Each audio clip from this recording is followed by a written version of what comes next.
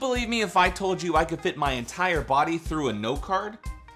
Fold your card in half and make a cut about 1 centimeter from the edge of the card. Be sure to cut from the folded edge side. Unfold the note card and cut along the folded edge. Fold the note card